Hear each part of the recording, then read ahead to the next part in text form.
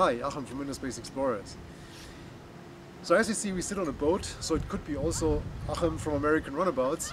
And for me that's great because in this video I'll combine my two passions, diving and boating, because I had a few requests where people said, hey, in some of your videos you mentioned that you're diving from a private boat, and can you talk a little bit about how to outfit and prepare a private boat for diving? And we already did that in the American Runabouts workshop and it came out super nice, at least that's what we thought. And then we figured that the SD card was corrupted and we couldn't use it. So now we're in Amsterdam on this ITC, as you probably heard now a couple of times, and we sit on the dive boat from the dive shop and um, we'll go through this again. So the first thing that is super important for me is whatever I tell you here is my way of doing it. So that's very, very personal and it is not correct or better or right or whatever. That's my way of doing it. It works for me. It might be horrible for you.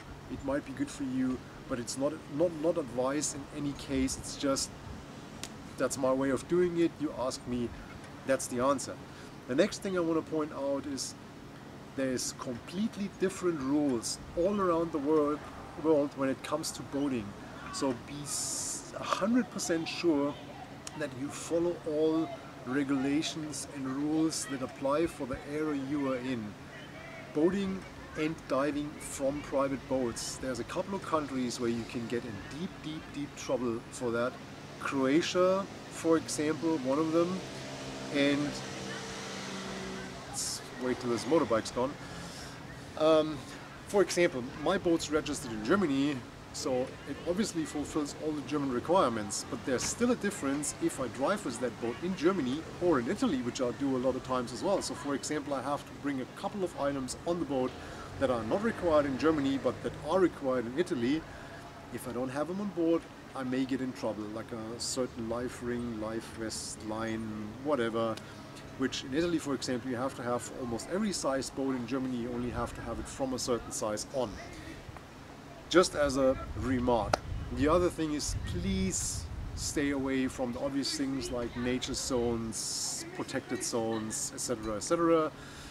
which also can bring you into legal trouble and can be super expensive. Thinking of, for example, Mallorca in Spain, when they catch you anchoring in a no anchor zone or in a nature reserve, this will be more expensive than buying a new boat.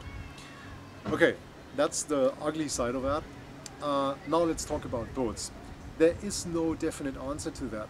Um, it really depends what you have. If we talk about a 4 meter inflatable with a rigged bottom and a 15 horsepower engine on it, or if we talk about an 8 meter weekender that you occasionally want to dive from. So that's a huge difference.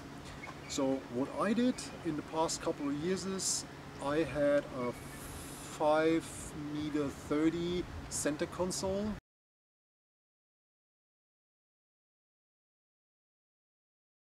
Fiberglass boat with a 40 horsepower engine that I used for a lot of work, buoy service, work diving, etc.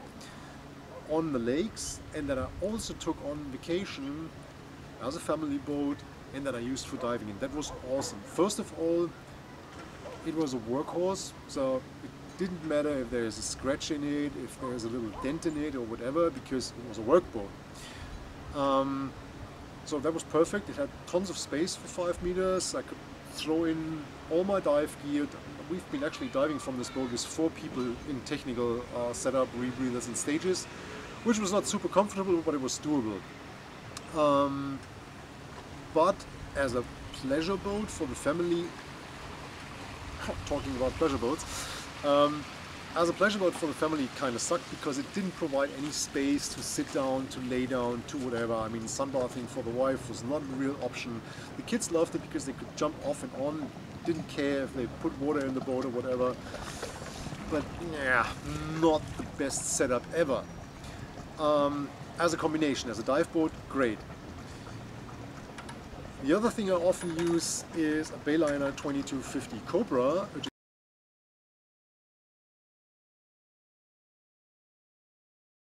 super nice boat, um, great weekenders, small cabin, etc., etc. Lots of space for family, lots of fun, but not ideal for diving.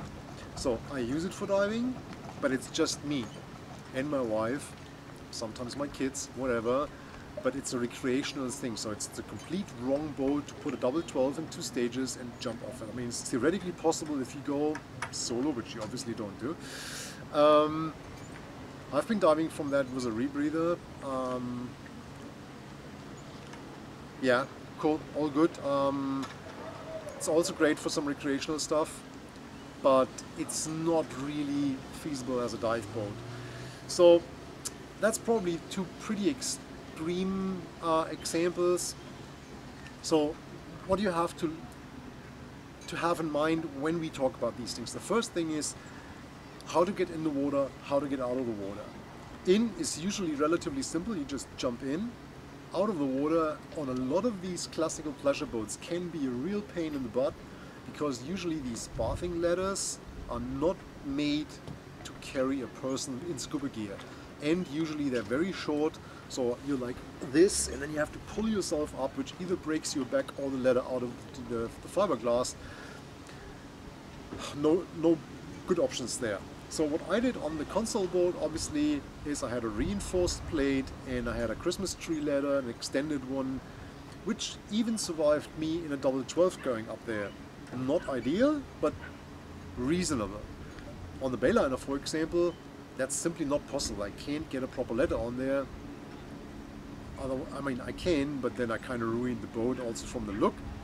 So what I do in that case is I have a proper rigging point, like a good cleat or something like that, and I put a line in the water with a couple of, of metal rings, and obviously I can jump in from the bathing platform, that's not, not a problem at all, and when I come back to the boat, I take off my gear and I clip it in there, and then I go out of the water, and when I'm standing on the bathing platform, I take my gear out of the water, which works pretty nice, then I have a proper big bin where I throw all my wet stuff in, and then that's fine. But obviously that works for one or two people and not for a group.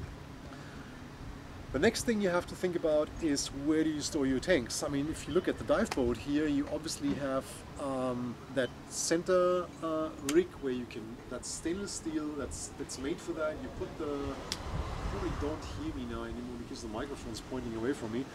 Um, so that's made for that. You put the tanks there, nothing can break, they got strapped down that's all perfect. So on your private boat, you normally don't have these options. So what you have to do is you have to lay down your tanks and make sure they're not rolling back and forth.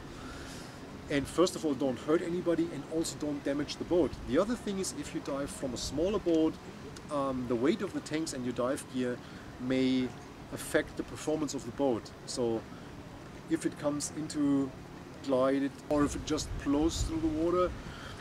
So um, yeah, that, that, that, there's no recommendation. I mean, you have to figure it out. It depends on the boat, on the construction of the boat, on the space of the boat that you have, back, forward, etc. The size of engine, the possibilities to trim the engine, the prop that you drive.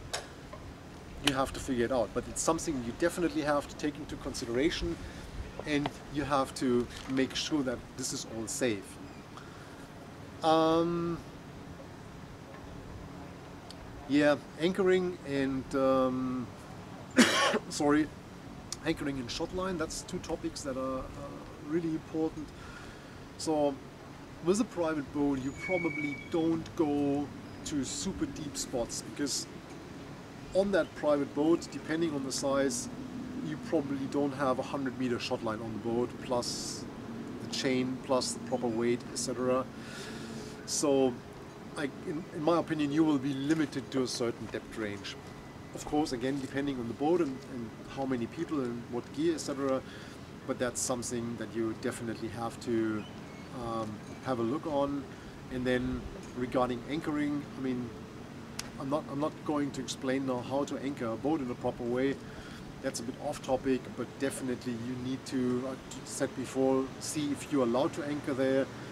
And if you are allowed to anchor there, you don't want to damage a dive site with your anchor, so don't throw it on a wreck or something. Like that. There's, for example, a little aircraft wreck in Elba that we dive frequently, and every year I see some idiot throwing the anchor on that pretty fragile um, aluminium uh, aircraft wreck. So obviously you want to anchor off the wreck and then swim to the wreck. So that's the, the, the things that you're kind of responsible when you are diving from your own boat. I generally prefer to dive from a shot line. Regarding shot line, there is a video on this channel where I explain a little bit the shot line and especially how to get the shot line up um, in an easy, very, uh, very nice way. And I put the link to that um, video in the description so you can check that out. Um, cameraman, what what am I missing? I think we're pretty good so far, other than uh, having a great time and enjoying boating, enjoying diving. Yeah, I'm. Oh yeah, uh, sonars. That, that, that's that's that's an important one. How to find your dive spot. And actually, there was somebody asking specifically about that. Um, a couple of years ago, I had a real side scan sonar, long cable, towfish, had to be plugged in in a computer, etc., etc., etc., which was a nightmare. I mean, I ran into trouble traveling with this thing a couple of times because it looked like a like a rocket. um, and the other thing is heavy cable. It was pretty big and a pain in the butt to use. We had to tow it with the boat at a very small um, speed, uh, very low speed, and I finally sold this thing and was super happy when it left the house. So obviously as all our technical stuff increases and gets better and better and better, there is fish finders uh, on the market that have the so-called chirp technology that deliver pretty decent three-dimensional images of the bottom, almost like a black and white picture. And they are pretty, pretty, pretty good um, for what the average diver needs to find a proper dive spot. I found quite a few wrecks with, with this thing and I'll put a link to the one that I use in the description so you can check it out and they are expensive but they're super cheap when you compare them to a proper side scan sonar like Expedition Range. The thing that I used was new, almost 80 grand. I still paid a fortune for it when I sold it, uh, when I bought it second hand and when I, when I sold it I lost a ton of money and the thing that I use now on the boat which delivers super nice results I think was less than two grand so um, that's pretty reasonable uh, for what you get and you check it out there's different different versions and they have uh, there are ones that are good for deeper spots and good for shallower ones and obviously the more money you put on the table the more possibilities you have um, to fine-tune that for your personal needs. Other than that, let me know if you have questions, if you need more information, put it in the comment section and um, I'll take care of that. Thanks for watching, uh, there's more people coming so we have to stop the video anyway because it's gonna get noisy. Stay safe and I'll see you in the next video.